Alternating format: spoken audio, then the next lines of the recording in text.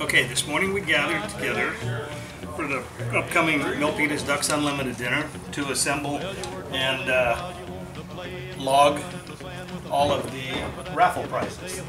And these will be uh, all raffled off at our dinner. People that buy raffle tickets and, and they'll get anywhere from skill saws to tools to heaters to gun cases, just about smokers, about anything you can imagine. You put him on a hook and then you drop him in the and if everything's gonna turn out right, you're gonna fry fish tonight, country boy. You're lucky free, country boy. I wish I was you and you was me.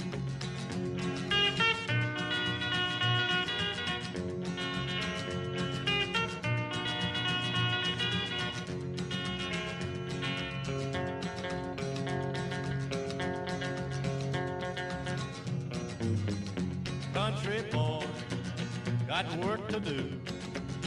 Country boy, in the morning dew.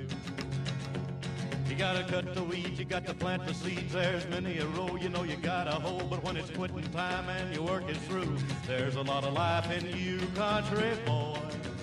You got a shaggy dog, country boy, up a holler log.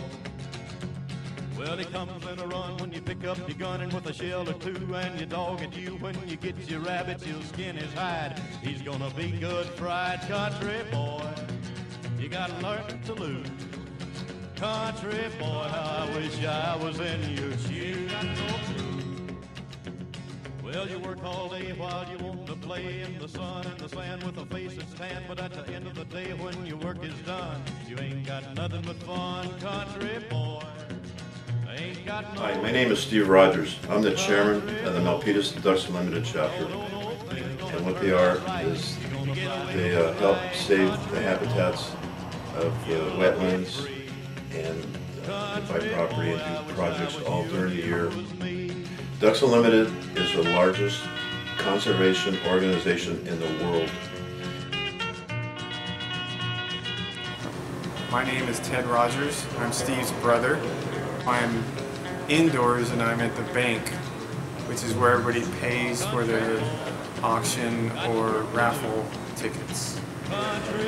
All the money that comes in through the bank goes directly back to the Ducks Unlimited fundraising campaign.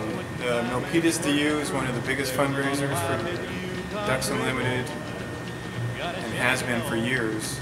It's one event a year, so it's one party, but it takes a lot, a lot of work to get everything together, and get all the prizes, and get all the donations, and get everything purchased with the, the from all the food and the guns and stuff like that. We've given away thousands of guns and thousands of decoys, and we've you know, we've raised over a million dollars in the past 30 years for this, for just this chapter alone.